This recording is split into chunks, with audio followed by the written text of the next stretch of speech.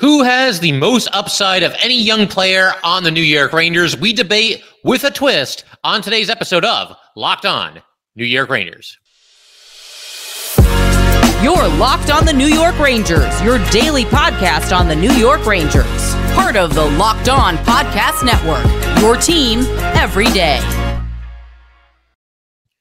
Welcome back, Blue Shirts fans, to episode number 892 of the Locked On New York Rangers podcast. I'm your host, John Chick. Just want to thank you guys, as always, for making Locked On New York Rangers your first listen every day. We are free and available on all platforms, including YouTube. And we are, of course, part of the Locked On Podcast Network, your team every day. And so, as I just mentioned, want to go ahead and talk about uh, upside, long term upside, as far as some of the younger players on the New York Rangers are concerned. But we're going to do this with something of a twist because I came across an article on NHL.com you know, we talk a little bit of fantasy hockey on here every once in a blue moon, and I figure we can do that today. The article focuses in on the top 100 players around the NHL who are 25 or younger who have the most value as far as a fantasy league keeper is concerned. And if you're unfamiliar with what that term means, uh, it's kind of basically just what it sounds like. You play in a fantasy league and certain leagues allow you to keep one player or, multiple players from one year to the next.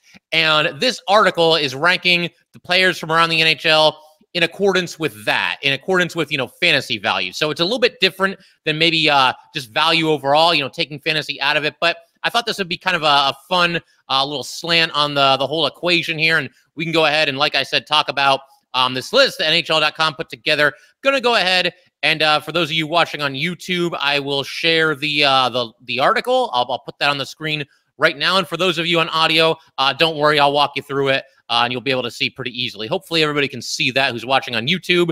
Uh, maybe we just zoom in a little bit here. That might help a little bit there. Okay, awesome. So uh, top 100, it's actually uh, the top 110 players, really, because they rank the top 100. But then at the very end of the article, it mentions, like, oh, and also you might want to pay attention uh, to these 10 players. So basically, we're looking at a list of the uh, top 110 uh, fantasy keeper players in the NHL right now. And the caveat for this is everybody has to be 25 years old or younger. And Connor McDavid, for example, is 26, so he's not going to appear anywhere on this list. A couple of Rangers do appear, though, and I figured to kind of kick things off here. We'll go ahead and take a look at this article. And this article, by the way, collaborative effort from Pete Jensen and Anna Dua. And again, it's an article that appears on NHL.com. But to just go through the list really quick here, number one, you've got Connor Bedard listed as the number one uh, fantasy keeper in the NHL right now. I feel like that's a little bit high for him. I wouldn't put him quite at number one. I understand all the hype and all the the hoopla and the fact that he was the uh, slam dunk number one overall pick this season, and certainly seems to have a very very bright future in this league. But I would counter with the fact that he has not yet played an NHL game, so I can totally understand top ten. I can probably even understand top five. Number one might be a little bit of a bridge too far. I mean, there's no sure thing as a sure thing when it comes to you know drafts and players that you know haven't even played uh, their first NHL game yet, and that really applies to all sports, but certainly hockey as well. But anyway, you got Connor Bedard at number one. I'll kind of just run through the top 20 real quick here. Number two, Cale Makar. Number three, Auston Matthews. Uh, four is Jack Hughes. Five is Jake Oettinger. Six, Jason Robertson. Seven, Brady Tkachuk. Eight, Matthew Tkachuk. So that's interesting. Uh, Brady ahead of Matthew there, despite Matthew's just absolute rampage in the playoffs this past season. Uh, nine is Tim Stützle. 10 is our buddy Adam Fox. Going to talk about him in just a minute, as well as the other Rangers on this list. 11 is Elias Pettersson. Uh, 12, Rasmus Dahlin. 13, Tage Thompson. 14, Quinn Hughes. 15, Matt Boldy. 16, Maurice Seider. Uh, 17, Miro Heiskanen. Uh, 18, Cole Caufield, 19, Matty Beniers, and number 20 is Jeremy Swayman. So, uh, yeah, no issues really with that top 20. I mean, Tage Thompson's interesting because uh, he was almost looking like, you know, somebody that wasn't going to live up to the hype. And then he had just a phenomenal season this past year. And obviously, he's jumped up the list quite a bit. But to go through the Rangers that are on this list, I did just mention Adam Fox at number 10. And no surprises there. I mean, he's got to be, you know, certainly, I would say at least within the top 10. If anything, maybe he's a little bit too low here. Uh, Cale Makar, number two. Adam Fox, number 10. They're always going to be linked together. And as far as defensemen are concerned, uh, they are the top two ranked defensemen on this list. And again, to me, the top two premier defensemen in this league. I mean, I know Eric Karlsson won the Norris this past year, but obviously he's not 25 or younger. And I think all around game, I know this is a, a fantasy ranking here, but all around game, I'd still put Makar and uh, and Fox ahead of Karlsson. Um, but yeah, I mean, with other Rangers on this list, we're going to be talking a lot about upside and potential and uh, can they take a leap forward this year? Adam Fox, he's already there. And again, there really isn't all that much of a discussion to, to, to be had here. I mean, I could look at it and say, okay, Adam Fox is number 10. Uh, should he be above somebody like Tim Stützle? Should he be above somebody like, you know, Jason Robertson? Again, it, it's all it's all relative. Anybody could kind of make that case, but uh, I can't go crazy about any of the players ranked ahead of Adam Fox here. And again, this is uh, fantasy related. You know, it's it's not just real life uh, value; it's fantasy value. So Adam Fox, obviously, look if you're in a fantasy hockey keeper league, yeah, I think he'd be a great keeper. Uh, you know, for just about any team. Obviously, you got your top defenseman for many, many years to come. If you're lucky enough to, uh, you know, be able to draft or hang on to Adam Fox in a fantasy league. Uh, to keep the list going here, I'm kind of just going to scroll through. I'll go somewhat gradually. So, again, anybody watching on YouTube can kind of see anybody else that's uh, on this list here. We got go quite a ways down to see uh, the next New York Ranger, and that's going to be at number 54. Uh, Filip Chytil is listed as number 54 in terms of fantasy keepers. And this is an interesting one because Filip Chytil, you think about the kid line, and I feel like, you know, going into this past season, if you had to rank uh, those three in any kind of an order, you'd probably have Filip Chytil as, as the third one of Kakko Lafreniere and uh, Chytil himself. But uh, with the season that Chytil had, mini breakout this past year, playing mostly in a bottom six role and uh, almost doubling his previous career high in points for a season. Obviously, still very young. Filip Chytil is still only 23 years old, which is crazy because it feels like he's been here for a long time. And really, he has. He debuted when he was 18. But um, yeah, Filip Chytil, I mean, again, you, you can I mean, should he be number 53 instead of Jacob Chychrun? Should he be number 52 instead of Pierre Luc Dubois or 51 instead of Noah Dobson? You can make that case, obviously, but um, you know, this this feels about right.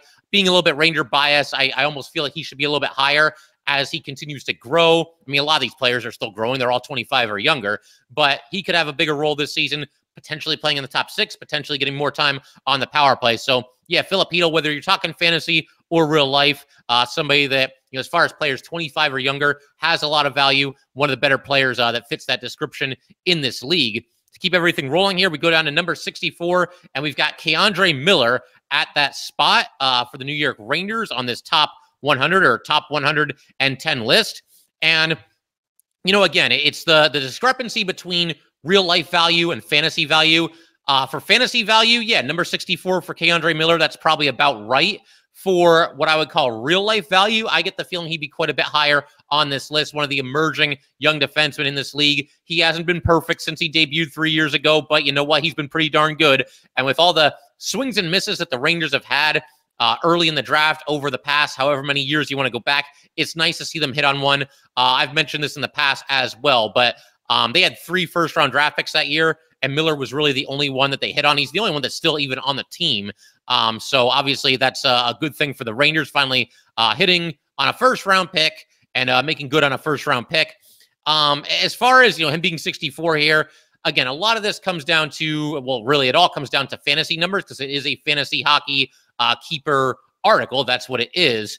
But if this was real life value. He'd be quite a bit higher. The fact that um, he's a defenseman that probably hurts him for a fantasy uh, related list such as this because you know defensemen they're only going to get so many points. I mean, I think Miller has more to give offensively. Would not be surprised to see him put up career highs uh, offensively across the board. We'll see if he gets some some power play time as well. I could see him uh, maybe being out there for the second unit. But uh, K'Andre Miller, nice to see him on this list as well at number 64. And Again, I'll keep scrolling down here. We'll go through the list uh, so everybody can see that happens to be watching on YouTube. I'm not going to read the whole uh, top 110 here, obviously, but we'll go all the way to the bottom. There we go.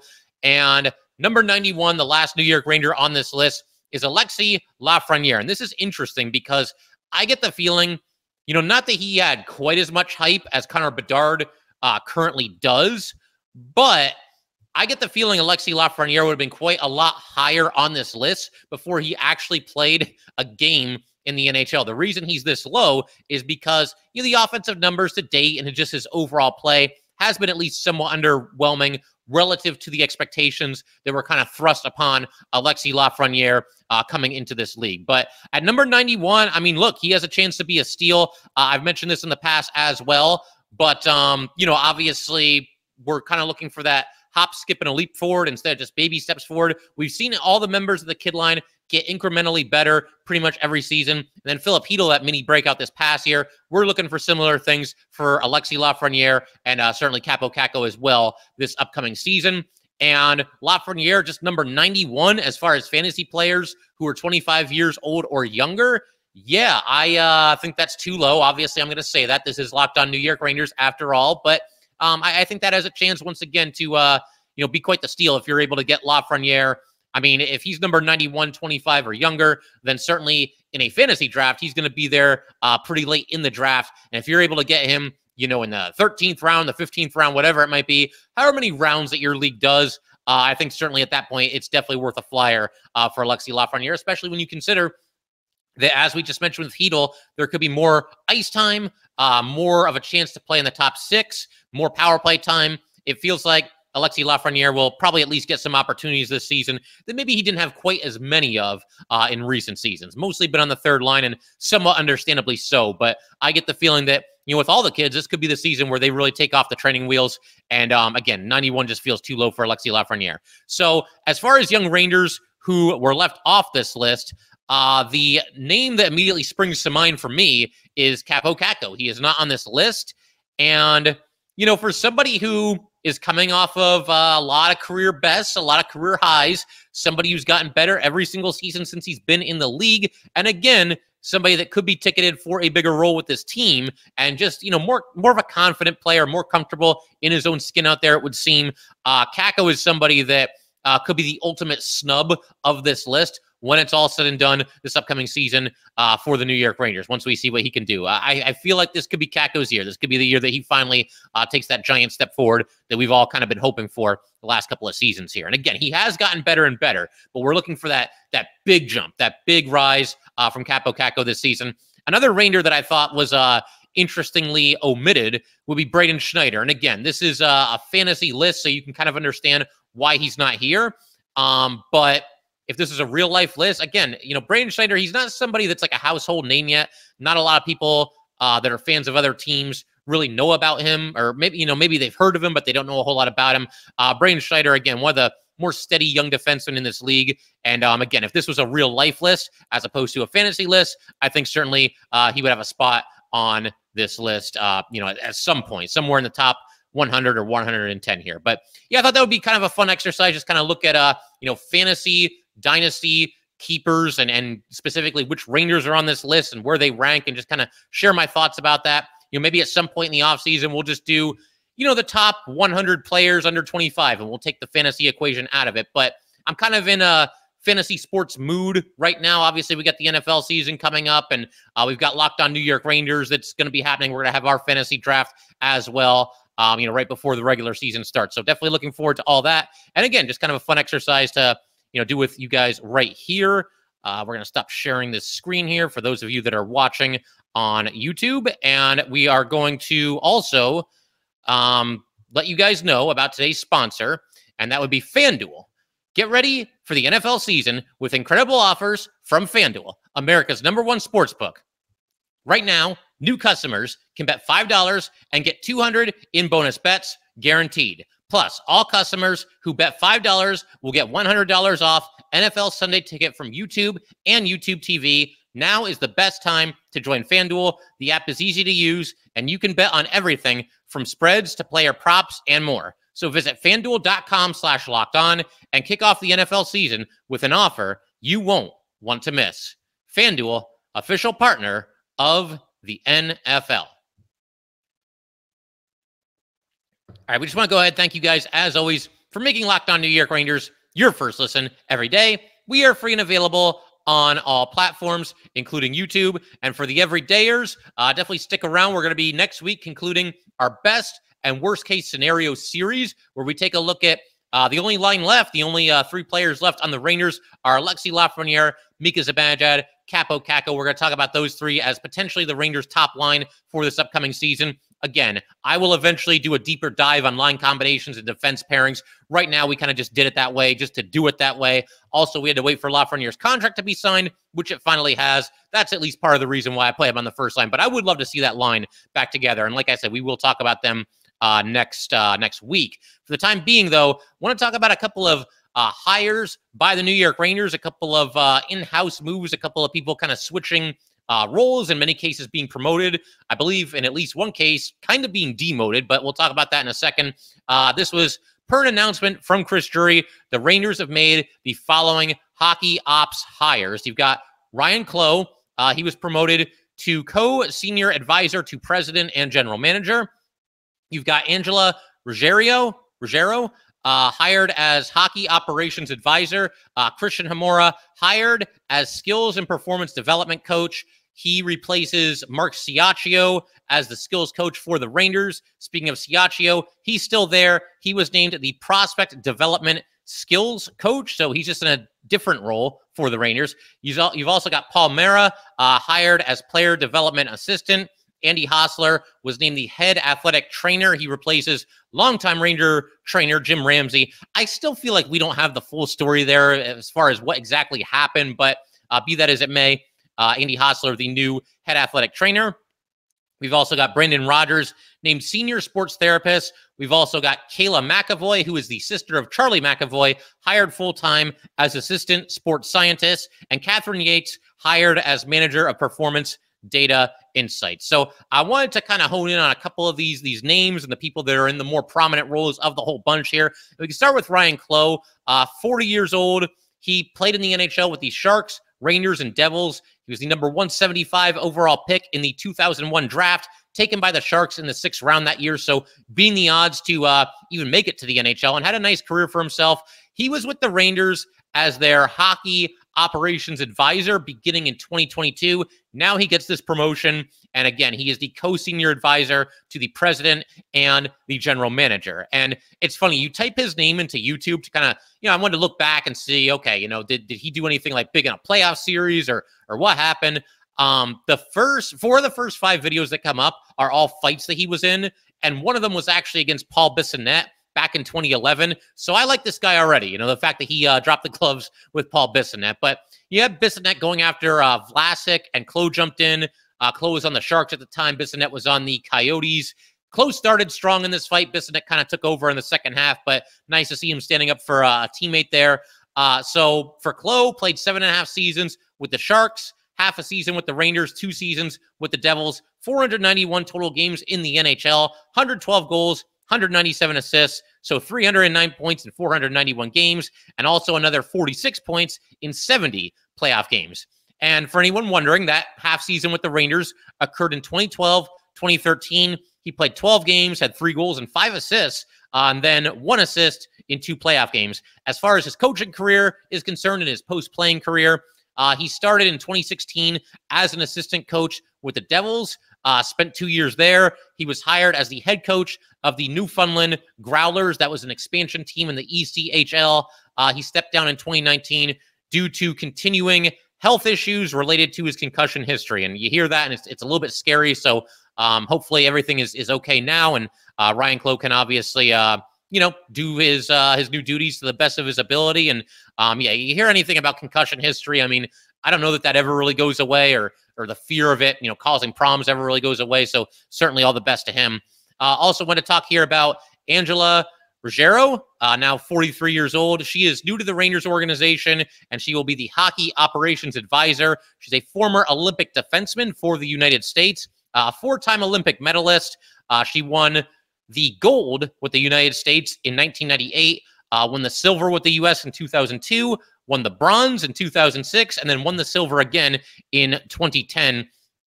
Uh, she is the fourth woman and the second American woman to be inducted into the Hockey Hall of Fame. Uh, this happened in 2015. Also, a member of the U.S. Hockey Hall of Fame class of 2015. Had just an outstanding college career at Harvard. Uh, was the captain there for her last two seasons. Won the Patty Kazmaier Award as the top women's player in college hockey in 2003 2004. During that season, she had 25 goals and 30 assists in just 32 games, and also won the NCAA championship with Hartford, or yeah, Hartford, Hartford. She won it with the Hartford Whalers. She won it with Harvard in 1999. And then after retiring, became a member of the International Olympic Committee until 2018. Obviously, uh, I've never met her, but certain people, you know, you read their resume and you just can't help but be impressed of all the different things they've done uh, as players. And um, again, I don't know her personally, obviously, but this seems like somebody that just might be one of those hockey lifers. Obviously, there's quite a few of them kicking around the NHL. You know, they play in the NHL, they end up becoming coaches, and uh, that seems like it could be the case here. And uh, again, these all seem like good hires. There's one more um, person that I want to talk to talk about here, and that's Paul Mara. That name might sound familiar. And the reason for that, first and foremost, he had a long career as an NHL defenseman. Uh, he's now 43 years old. He was actually drafted number seven by the Tampa Bay Lightning in 1997. Played for the Lightning, Coyotes, Bruins, the Rangers, uh, the Canadiens, and the Ducks. 734 games, 64 goals, 189 assists. So 253 points in 734 games. Also played in 33 Stanley Cup playoff games, uh, three goals, four assists. He was with the Rangers for three seasons, starting in 2006, 2007, and lasting until 2008, 2009. Obviously, could chip in offensively, um, but also, you know, a hard nosed defenseman, somebody that would drop the gloves and uh, stand up for his teammates. As far as uh, his post playing career, he was the assistant coach on the 2018 U.S. women's uh, national hockey team, won a gold medal there, uh, and then also was named the head coach of the PHF's Boston Pride, and he is currently the head coach with the most wins in PHF history. The PHF, the Premier Hockey Federation, formerly known as the National Women's Hockey League, the NWHL. Um, they uh, sort of rebranded, I, I, guess you could call it, about a year or two ago. Um, but yeah, obviously, uh, Mara had a lot of success there. He was also the first coach in PHF history to win 50 games, and he got to that mark in November of 2022. So, uh, interested to see Paul Mara back in the in the fold, and um, again, they all seem like good hires. You know, lo- looking up uh, research on all these people really and finding anything that you could find. Uh, all these hires seem like they were done with a purpose, and obviously they're all, or some of them are new, some of them have been promoted, and uh, we'll obviously give them a fair chance, as uh, Ranger fans always do with everybody. So, um, yeah, we'll uh, keep everything rolling in just a second here. I want to do one last thing for today's episode.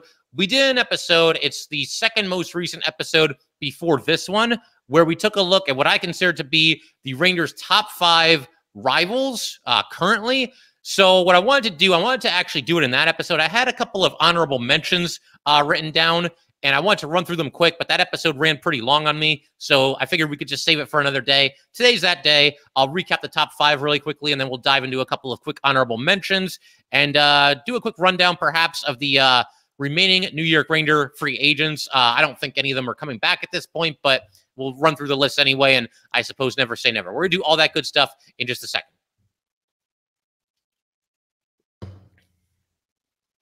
All right, so rivals of the New York Rangers. To kind of recap the top five episode or the the a couple episodes ago when we did the top five. Number five was the Islanders. Number four was the Canes. Number three was the Caps. Number two was the Devils. Number one was the Penguins. And obviously, everybody's got their own top five, and you can go ahead and uh, leave your own personal top five in the comments of this episode, or go back and catch that episode if you want to hear my thoughts on what I believe are the top five biggest Ranger rivals. A couple of you guys mentioned in the comments some other rivals that um, were not included on that list. I had a couple of them written down for the honorable mention uh, portion of that episode, and we're going to just dive right into that right now. So, in no particular order, one of the rivals that I got four written down here, one of them is the Philadelphia Flyers. Um, obviously, there's a lot of history there, and these teams have gone back and forth over the years.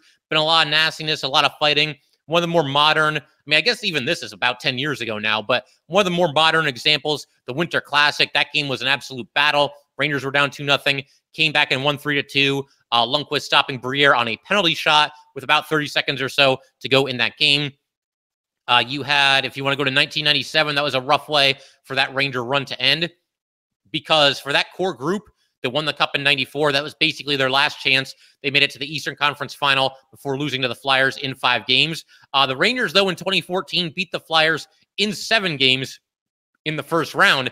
And that's also the season that the Rangers ended up making it to the finals. That was back and forth the entire way. If I'm not mistaken, the Rangers won every odd numbered game of that series, and the Peng or the the Flyers won every even numbered game of that series. And then a uh, really modern example, how about a couple years ago when uh, Kris Knoblauch was up coaching the Rangers when the Ranger coaching staff had COVID, and the Rangers squeaked by the Philadelphia Flyers by the final score of nine to nothing. It was actually nine nothing after two periods. I think the Rangers kind of took the foot off the gas a little bit, uh, but just an absolute embarrassment and just a complete butt kicking.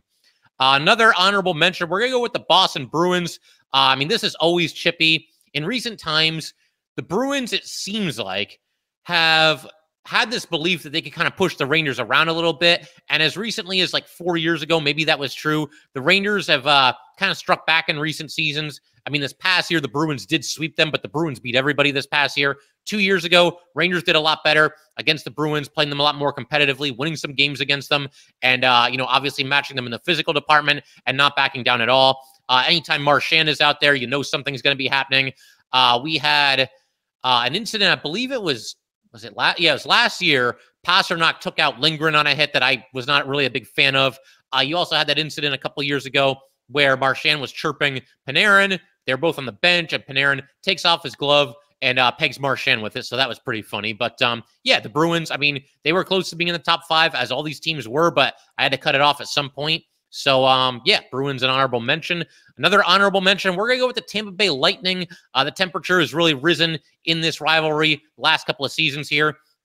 You go back to the Eastern Conference Final, and really, anytime two teams meet each other in the conference final, that kind of becomes, I think, a little bit of a rivalry going into the next season because you're so close. You're right there on the doorstep. You got a chance to go to the Stanley Cup final, and um, obviously, that was no different. Rangers versus Lightning that year very chippy, a lot of chirping, a lot of back and forth. You had Lafreniere and Stamkos uh, dropping the gloves and fighting at the end of game five. Uh, opening night this past season, I thought got kind of crazy at times. The Rangers won that game, uh, but that was back and forth and a lot of uh, chirping back and forth. There was also the game last year where Ben Harpur and Corey Perry were going at it the entire night. I mean, just just constantly finding each other and mixing it up. I, I think fighting at the end of the game.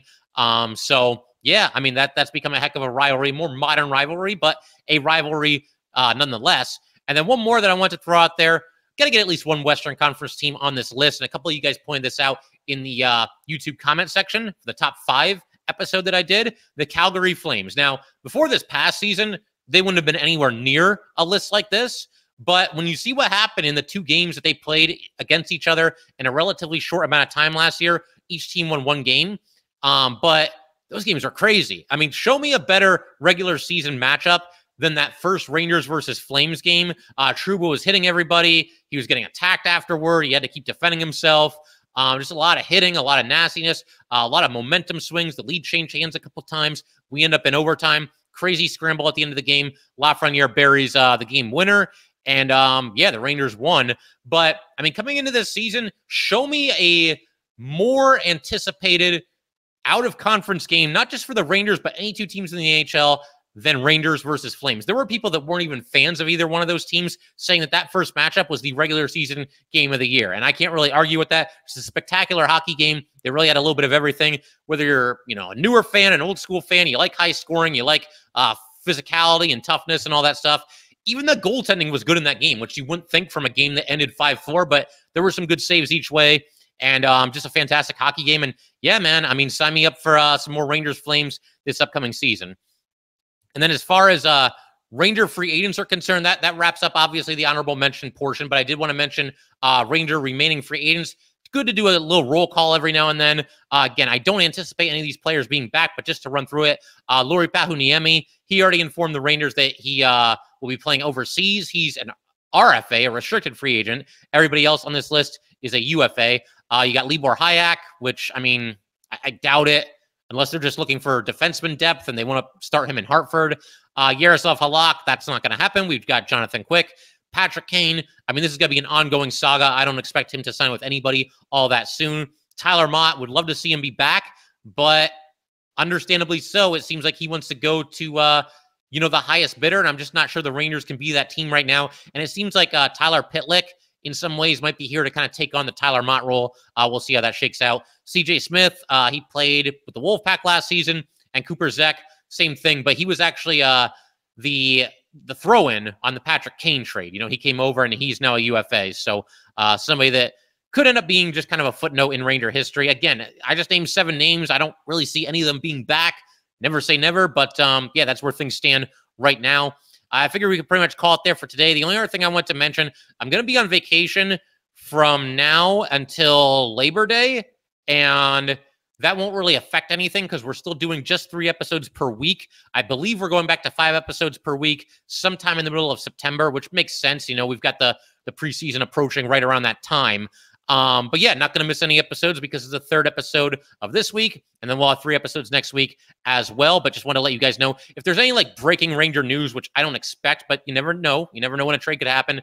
Uh, we'll wait until next week uh, to discuss that once I'm uh, back from vacation. But uh, that will do it for today, guys. Once again, if you'd like to get in touch with this podcast, please send an email to locked on nyrangers at gmail.com. Once again, that is locked on nyrangers at gmail.com. Definitely give us a follow on Twitter as well at LO underscore NY underscore Rangers. Once again, it's at LO underscore NY underscore Rangers. And definitely subscribe to Locked on New York Rangers YouTube channel. Thanks again, guys. I will see you next time.